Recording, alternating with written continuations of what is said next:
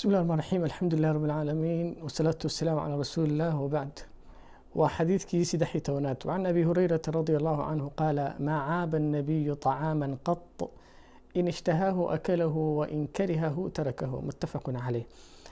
abi hureyra radia allahu canhu wuxuu leeyahay nebi sal ly slam weligii cunto muusan caayin hadduu nebiga cunto jeclaysto wuu cuni jira hadduu nacbaystana wuu iskaaga tegi jira hada min akhlaaqi nabiy sal lay wasalam akhlaaqda nebiga sal lay wasalam sidaa ayay ahaan jirtay cunto keliyana ma ahe nebigu weligii cuntona ma caayin xayawaanna ma caayin bini aadanna ma caayin weligiis muusan caytimin qofka muslimkana waxaa loo baahan yahay inuu sidaa nebiga ugu daydo laannu ilahi wuxuu leeyahay laqad kaana lakum fii rasuuli illaahi uswatun xasana arkaysaa akhlaaqda wanaagsanna ilaaha subxaana watacaala ku tilmaama nebigu wuxuu yidhi wainaka la calaa khuluqin cadiim marka akhlaaqda wanaagsan waxaa ka mid ah qofki muslimka inuusan noqon qof lacaan ah oo dadka caaya ama ceebeeya inuusan noqon markaysa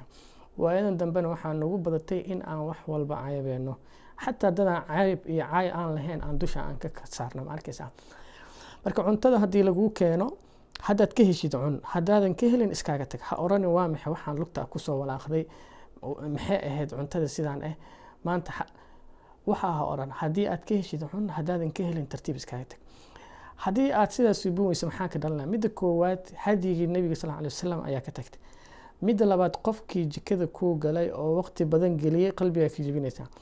midda saddexaadna waxaa weeyaan nimcadan adiga ilaahay ku siiyey oo aad xaqiraysid dad baa u baahan. Adi tan haddaysan kuu cuntamaynin dad cunaayo ayaa jiro. Ma arkaysaa marka inaa ilaahay kaga mahadisiday ka mid tahay inaad tartiib aamustid aadan ceebeynin gabdhahana waxaan leenahay haddii wadaadka ama walaalka aada cunto u keentid cuntada uu ka gacmo gaabsado ha oranin maxaad ku nacday. Afka gacanta ha ka gelina marka asagane uusan dembi uusan ku dhicin oo hadal xun uusan ka tegin ma arkaysaa?